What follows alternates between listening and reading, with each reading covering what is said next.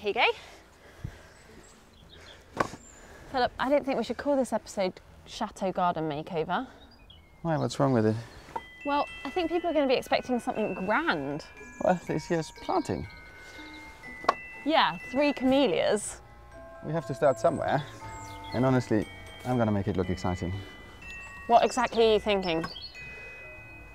I see an opening with a beautiful music and a drone shot circling slowly around the facade of the chateau in the evening light, the golden hour.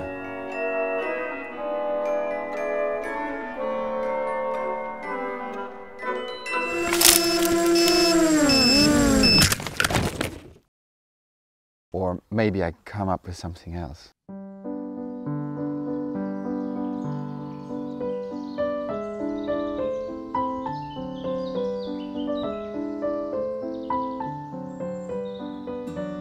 My name is Anna.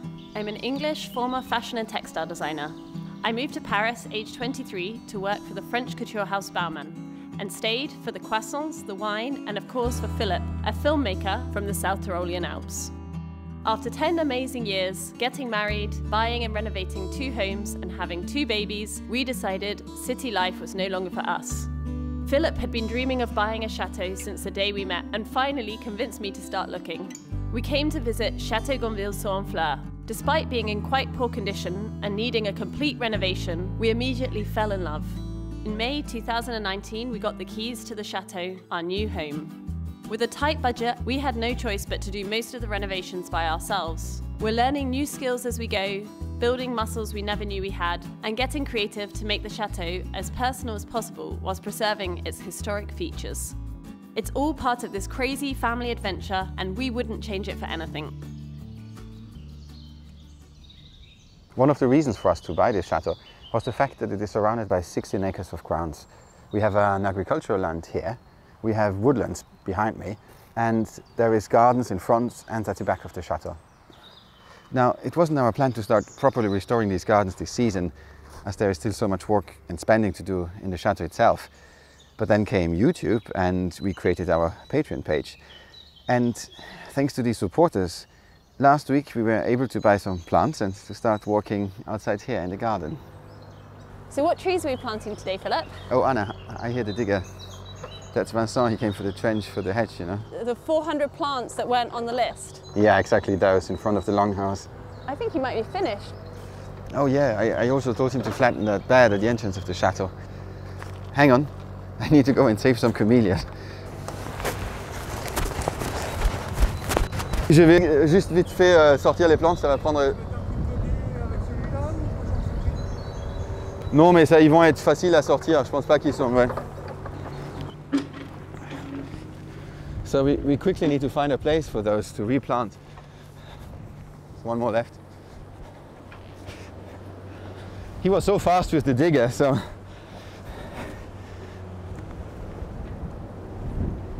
A little bit of speed gardening. speed gardening.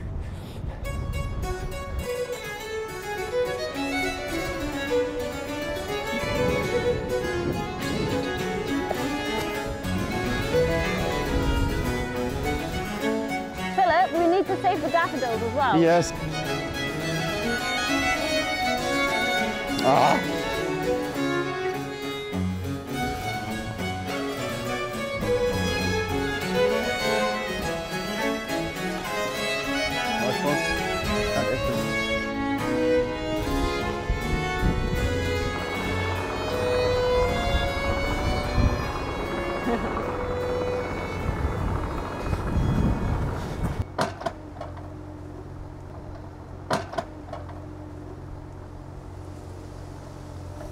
Isn't it ridiculous, Philip, after all this time we spent making that border, that we're undoing it again? What do you think Vincent thinks? I don't know, he must think we do everything twice. We do. But to explain that to our viewers, we did this bed about a year ago with Vincent's help when we redid the driveway. But then we met a landscape designer and she came up with another idea. So for now, we bring this back to grass and about the other idea, we will do probably a video in the near future.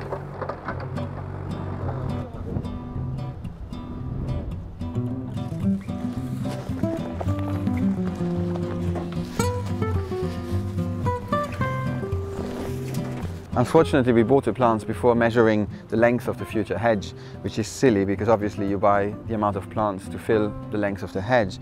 We didn't really want to buy these plants, it's just we found them and they were such a good price and it reminded us that we have to redo the hedge. So we went for it and I tried to remember how long the hedge was and in my memory it was about 160 meters, wasn't it Anna? That's what we think. Anna, is this something we've done already? Yes, I feel like a little bit of deja vu. Why are we doing this again? That's a good question, Philip. Why are we doing this again? Because we planted the wrong plants. We planted laurel and it turned out that laurel is not at all an indigenous species and not much appreciated by the town hall either. After spending three days with all of our family this time last winter to plant the laurel hedge, we actually got a phone call from our local mayor who kindly asked us if we would mind changing the hedge because laurel is not a native species and is not adding anything to the biodiversity here. So here we are and we're going to plant a hornbeam hedge instead, which is going to be beautiful. So this is the moment of truth, Philip. Did we remember correctly? Is it 160 metres? Are you ready? I'm ready. Okay.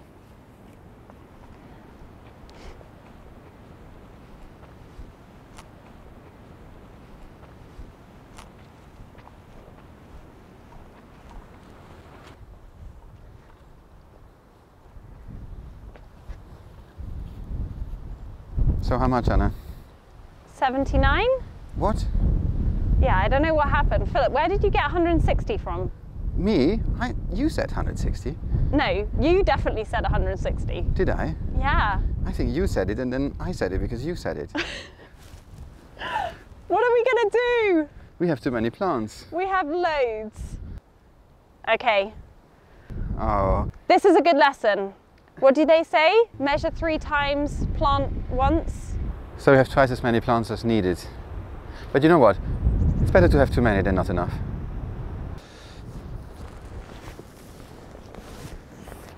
And the first thing you want to do is to bury all the grass patches because you don't want any grass where the hornbeams will grow. Is the plural of hornbeam hornbeams? Hornbeam. I think it's just hornbeam. By the way, Philip, what are we going to do with the laurel hedge that is still planted? Um, well, we keep it for now, and then hopefully somebody wants to buy it. We can, or we donate it. I don't know if anybody wants it. And now it starts raining. But a real gardener doesn't shy away from a bit of rain. Oh, it's raining. The problem with rain is if you wait and with rain the whole trench can collapse and then we dug out for nothing and we have to start from scratch so I think I have to get on in the rain. But you Anna, you should go inside and continue with your wallpaper. Yeah, I think I'm going to go back inside in the warm. See you later. See you later. By the way, how long is this going to take you? Um, today, the rest of the day. So you think you're going to be able to plant 80 meters? I think so. I was psychologically prepared to plant 160, so 80 should be really quick. Right, I'll see you later. See you later. Oh, lovely. It's good. So, Yeah, I think I'm almost done. Only 76 of 80 meters missing. How many have you put in? One, two, three, four, five, six, seven, eight, nine, ten. Ten. Ten, we should celebrate.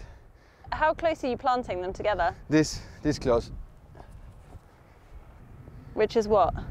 I have no idea, but it looks right. Doesn't it? So your very precise measurements again, I can see. Well, as long as I stick to the same measurements. As long as you stick to the stick. That was a good one. That could be one of my jokes. I think you're learning. It's a it's a catching disease. It's a catching disease. Bad humour. Bad humor. It doesn't look like much right now, but this will be a beautiful hedge one day. What do you mean it doesn't look like much? I spent, I spent two hours to do this. Yeah, but I mean the little uh, hedge. It's it's a little bare. It's a little. It looks like a little twig that we It just planted. twig. This is how nature works. You plant a little twig, and within a couple of years, it will be a beautiful hedge this high. And I will be 75. So have you estimated how many you've got to plant, Philip? No, that, that would involve higher mass and that's not my thing, but I stick to the stick like you say and I think we have certainly enough because we overbought. So stick to the stick, I can't believe you said that. I should have said that. Why, why didn't I come up with that?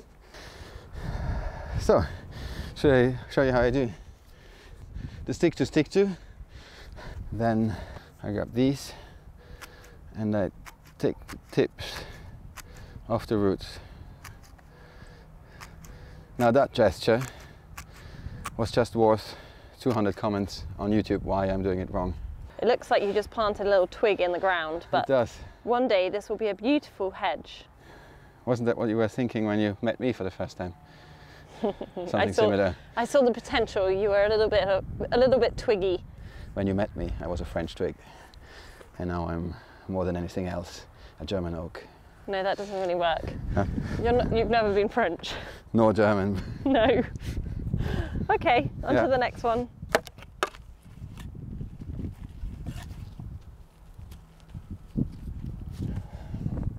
Honestly, I thought it would be easier given the fact that we had a digger coming in. But it's just as much work to fill the trench up again than to open it up. So I wonder if there wouldn't have been an easier way to do it. Maybe, maybe I don't know, drilling holes with a drill and then just sticking in the twigs. But probably it's really good for them, for the plants to have this big trench so they have a nice soft soil to grow. At least I hope, because otherwise I'm doing all this for nothing. By the way, shouldn't you be working on your wallpaper? Yeah, I am, but I just, you know, wanted to come check up on you, see if you're doing okay. What's your verdict? I think you're doing okay. A little slow, but no. No, you're doing a really good job. Thank you. I love you too. now go back to the wallpaper. All right, then, I'll see you later. See you later, my love. So, when I come back, will this all be finished? Absolutely not.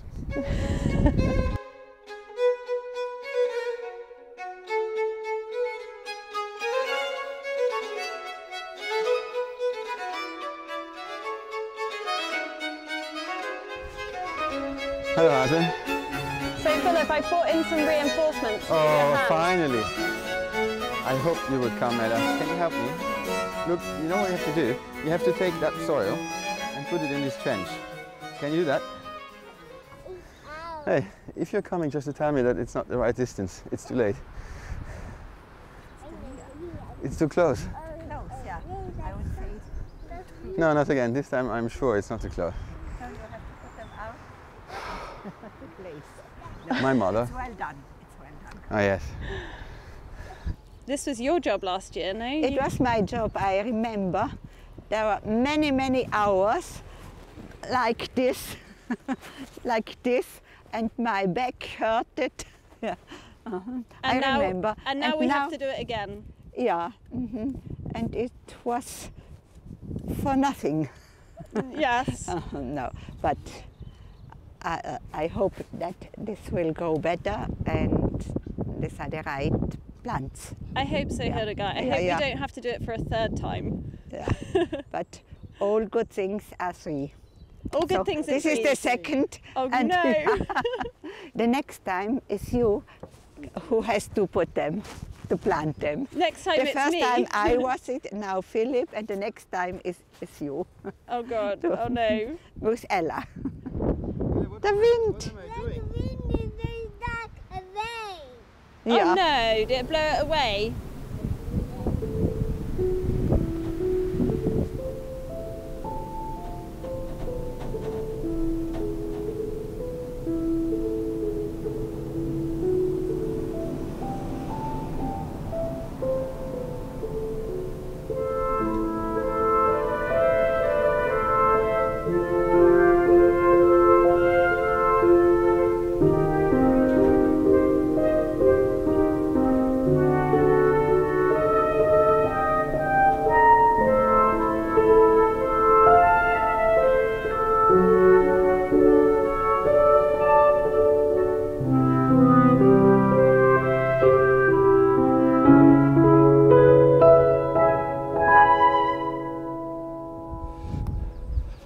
Now, after getting rid of the bed at the entrance of the chateau, we are left with a couple of homeless plants.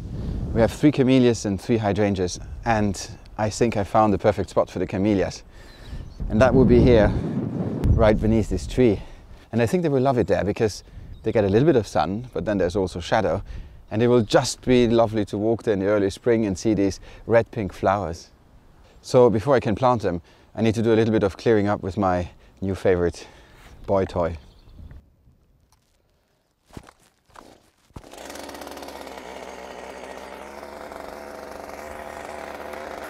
Wow.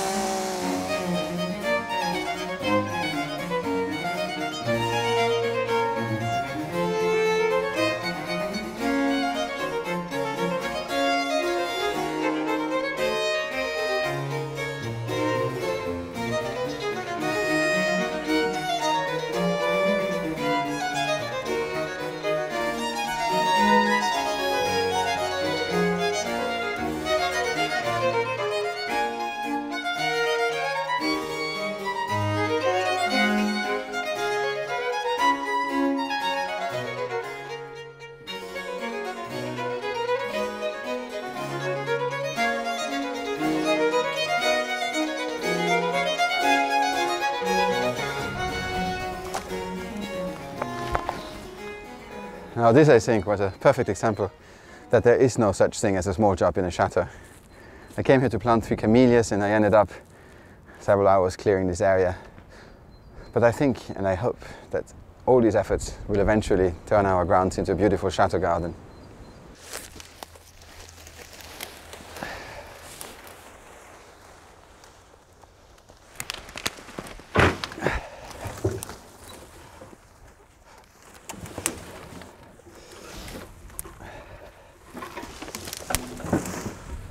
Now I cleaned most of this area. I still need to take the leaves away with a rake before I plant the camellias, but I'm happy with it. And I left a tree trunk. It doesn't bother me, it's not in the way, and a rotten tree is always a nice place for insects and all kinds of beasts to hide. And this is the trailer. Look at that! What do you think? You've done so much! It looks great!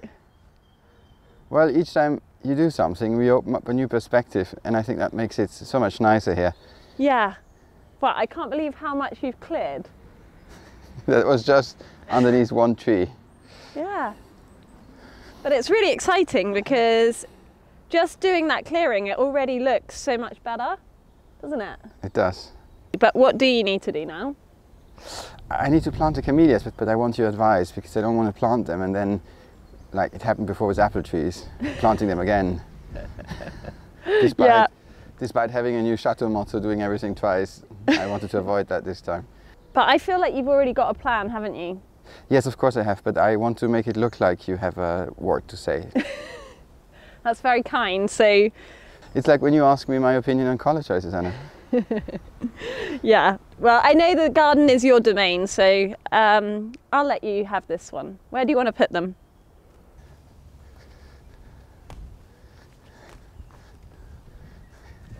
Here they are, our homeless plants. So what do you think? Here? On here?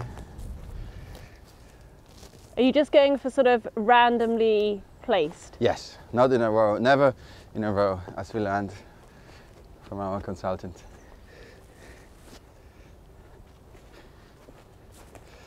And I'm probably not too close to the tree.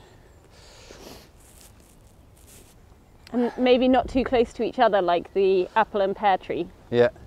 Well, even though these are camellias, so they probably they, they could be a bit closer because they, they can almost form then like a, A bush. a bush. That sounds nice. Maybe instead of being here, maybe this is a bit random. Maybe could be a bit further, like something like here. Or is it too triangular? I don't know. I'm. I don't know either. We need a consultant back for, for every plant now. But Philip, I mean, nothing's stopping us from, you know, planting them and then moving them in a couple of years. if they're not in the right place, right? or in five days as we do usually. now from here, suddenly everything makes sense. I think they have, one has to be here, one here, and one a bit further down nearer to that other tree. Yeah, that looks good. I like that. I don't know. I was sure five seconds ago, now I have doubts again.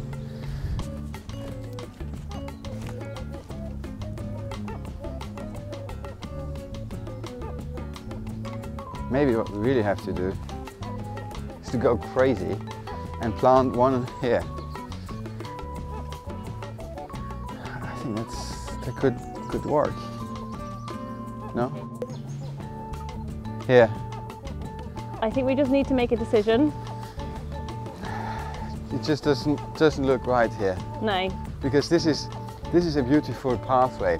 And now it doesn't look much but once the what's the name of this? Wild garlic. once the wild garlic is in flower we usually cut our way through a pathway through and it looks just beautiful. You will see that in a couple of months. And it's actually a very good plant to eat. We make pesto out of it. You use it basically as you would use basil. It has the flavor of garlic so you don't need to use any garlic but other than that you just make a normal pesto and you use these and we have tons of that and that's why for many months we only eat pesto pasta It's my favourite, and the girls, so we're very happy. Yeah, but the girls like the industrial one. no, the real thing that comes from a jar. Right, Philip, we need to make a decision. Yeah, we do. Otherwise, we'll be here at midnight planting them. And if we plant one more there, No, I think keep them here. Leave them here. I, I mean, I quite liked the idea of maybe, yeah, maybe one there. It, it seemed so obvious for me that that's the right spot, and I still think it's the right spot. But we have three, and I don't. If it was only one, I would just put it here. But it's nicer to have many of them, many of the same. But where do you place them? Oh, it's only six o'clock in the evening, and we only have 20 more plants to plant, so it's fine. In the middle. no, Philip. Can't well, have I don't, why not? In the middle, no.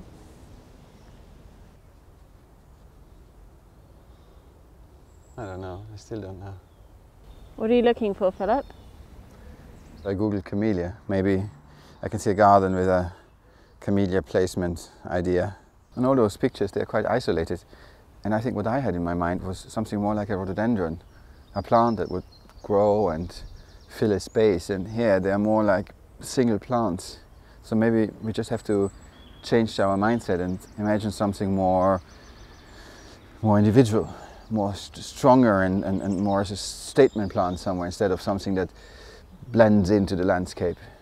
Maybe that means that we don't need them to plant all together. Maybe they can be in very different areas, Okay. which makes it much easier because I want definitely one there, and the other two so I can just find a space somewhere in the, in the woods. What do you think? Philip. So we just need one here. Let's let's pick the nicest one. I think this one. This one is the nicest one. So I would plant this one. Um, if there was only one, where would you plant it? Just there, where you are. Here. Here. Yeah. That's far away. Okay. I don't know, just just put it somewhere. I think you're not on it anymore. I just want you to plant them. okay. Here. Mhm. All right.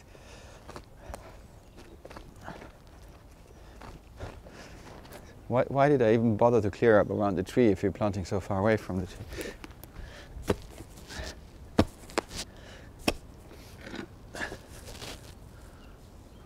Found a bone. It's really nice soil everywhere here, so I think it's it's gonna be happy here. I think so. I make a little ring around it without grass and then I put some mulch on top of it. And then, or before, I give it, as Monty Don always says, a really good soak. And then you have a shot, a yummy shot with water. Okay, one in, two more to go. Look, I'm happy. Our first replanted camellia. Good. Good. Right, let's go. Go and do the others then. Yeah. Where? I don't know. Philip, I'm getting a bit cold and I've got to go and sort dinner out for the girls. So I think I'll just leave you to it. I trust that you'll find somewhere nice for them. All right, but that means that you can't protest afterwards. No, um, Right. I'm happy with wherever you want to plant them. In other words, you don't care. Bye. Philip, I've had an idea. That's why you called me back. I was in the middle of the forest. Yeah, I think we should plant one here. Here. Yeah, All right. Because I think it would be really nice. Look, there's the the other one that's behind you over there, Yes. and I think this would be really nice just here on the edge of the driveway. I agree, and it's some. It, it, it respects the rule of always walking through your planting and not walking aside. Yeah, Yes. and it would add a little bit of colour here. So It's a very good idea. I I've- think somewhere maybe not not. I mean, it, it might grow, so we want it probably to be here. yeah, but not in the pathway. Yeah, but also not on this, not on the road. That's yes. too close to the road. No, exactly. Yeah. Here. Yeah. All right. Why you come up with this idea when I was in the middle of the forest? And not Well, I just was leaving, and then I thought, oh, that would look good.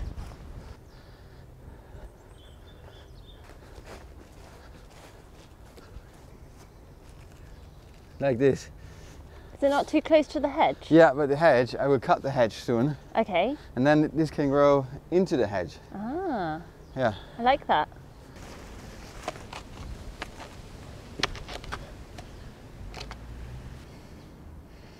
Look what I found, the top of a tiny bottle. Let's have a look. Oh wow, That looks old. that looks really old. Do you think it was a, a Calvados bottle? I think it looks more like a bottle containing medicine or poison. Who knows what happened to the couples living here before us?